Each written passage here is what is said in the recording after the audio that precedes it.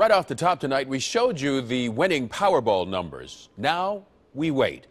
We'll know tomorrow if anyone won. Nine on your side reporter Amy Wadas is live in the newsroom with the big money dreams some of you may be having tonight. Amy?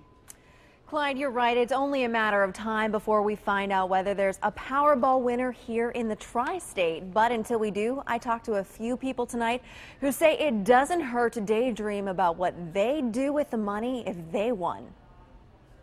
Everyone wants to have the golden ticket. And I just feel lucky today. But until Al Frost finds out if he's a winner, he can only imagine what he'd do with $360 million. I'll never work again in my life. I'll just work smart. The same with other Powerball customers we talked to at RNS Food Store in Pleasant Ridge. Probably give a lot to a lot of people that are in need.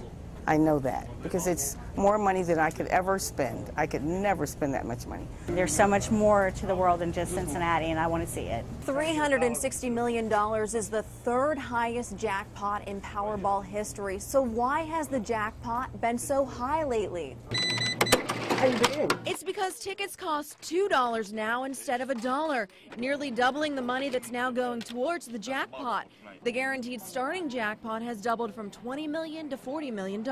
If I don't want to buy them, then I don't buy them. But I do, so that's just it. I don't, you know, I don't complain about it because I buy them. The Ohio Lottery Commission is looking into ways it can reward its most loyal customers. If this happens, players would accumulate points for playing lottery games, then redeem those points for prizes and more. Just like you get points in the gas station, you get points for going to various stores.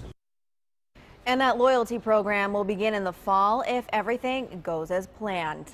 Back to you. All right. Thanks a lot, Amy.